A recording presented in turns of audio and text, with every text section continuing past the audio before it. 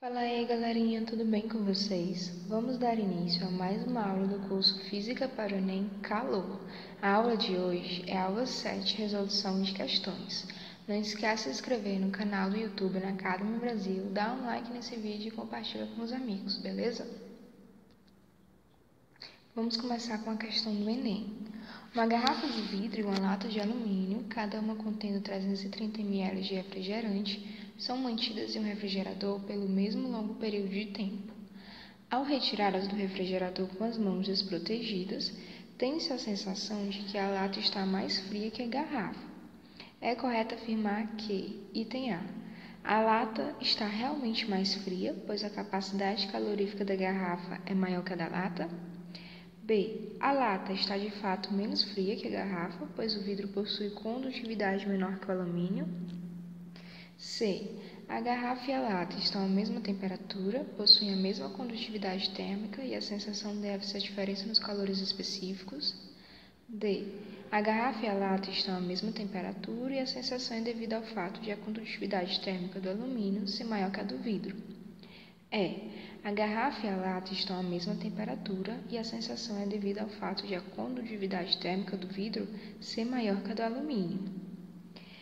Essa questão ela explora né, de forma qualitativa a condução térmica do calor.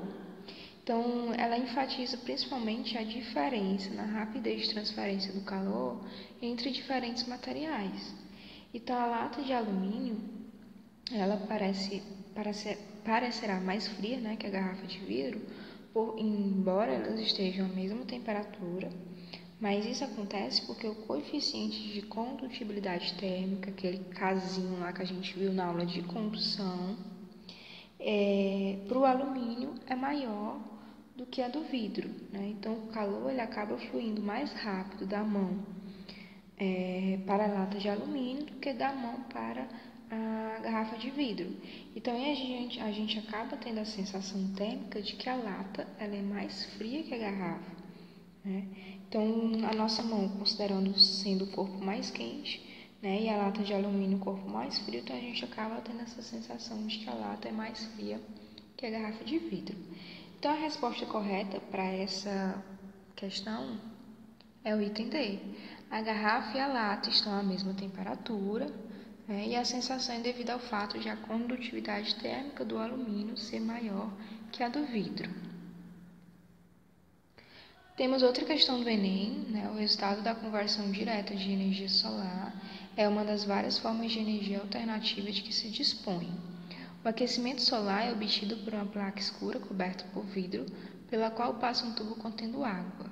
A água circula conforme mostra o esquema abaixo, né? no nosso caso a seguir. Então, são feitas as seguintes afirmações quanto aos materiais utilizados no aquecedor solar a gente tem o esquema, né? E aí as afirmações são as seguintes. 1. Um, reservatório de água quente deve ser metálico para conduzir melhor o calor. 2. A cobertura de vidro tem como função reter melhor o calor de forma semelhante ao que ocorre em uma estufa. 3. A placa utilizada é escura para absorver melhor a energia radiante do sol, aquecendo a água com maior eficiência. Dentre as afirmações acima, pode-se dizer que apenas está, estão correta, corretas. Item A, o 1, B, 1 e 2, C, 2, D, 1 e 3 ou E, 2 e 3. O item 1 diz que o reservatório de água quente deve ser metálico para conduzir melhor o calor. Se a gente voltar aqui no esquema, né, o reservatório de água e de água quente é esse daqui. E ele, se ele for feito de alumínio, ele vai favorecer muito a perda de calor para o ambiente. Né? Então a intenção é que o reservatório de água ele dificulte né, a perda de calor para o ambiente. Então, o material a ser usado nesse reservatório tem que ser um bom isolante térmico, não um bom, não um bom condutor térmico.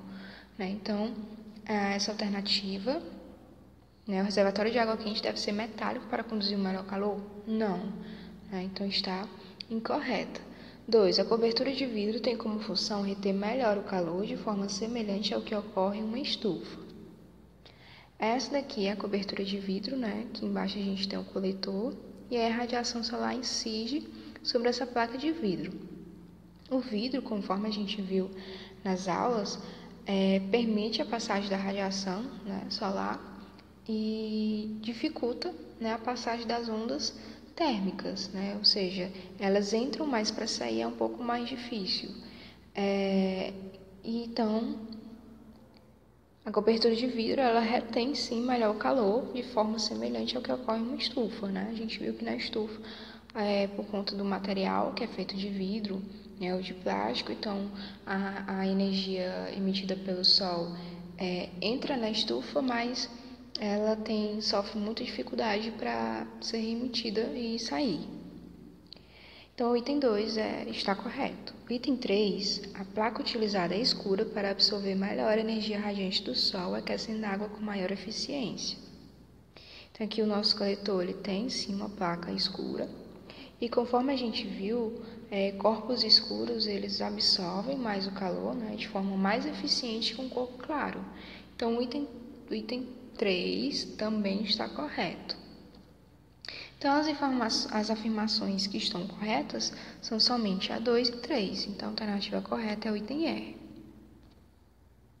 Outra questão do Enem diz o seguinte: a água ela apresenta propriedades físico-químicas que a colocam em posição de destaque como substância essencial à vida. Dentre essas, destacam-se as propriedades térmicas biologicamente muito importantes, por exemplo, o elevado valor de calor latente de vaporização.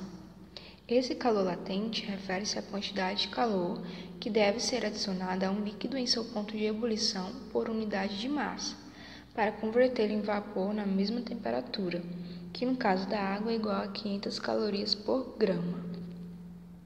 A propriedade físico-química mencionada no texto confere à água a capacidade de Item A. Servir como doador de elétrons no processo de fotossíntese. B. Funcionar como regulador térmico para os organismos vivos. C. Agir como solvente universal nos tecidos animais e vegetais.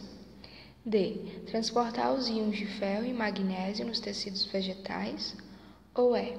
Funcionar como mantenedora do metabolismo nos organismos vivos.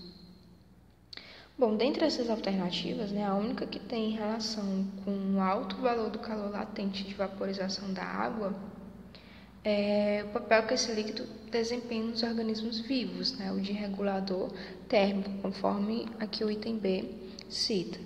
O que acontece é que quando a gente transpira, o suor líquido, né, que sai do nosso corpo, ele evapora de algum tempo, depois de algum tempo, e aí a água que é contida nesse suor, ela vaporiza. E isto ocorre por ação da grande quantidade de calor que o nosso corpo recebe. Né? Então, a propriedade físico-química né, que confere à água a capacidade de funcionar como regulador térmico para os organismos vivos. Então, o item correto é o item B. Se você gostou desse vídeo, dá um like, se inscreve no canal IEP no Academy, né, no caso do canal no YouTube, no Academy Brasil e no Ape no Academy, e comenta suas dúvidas e sugestões para as próximas aulas e cursos. Beleza? Te espero na próxima aula.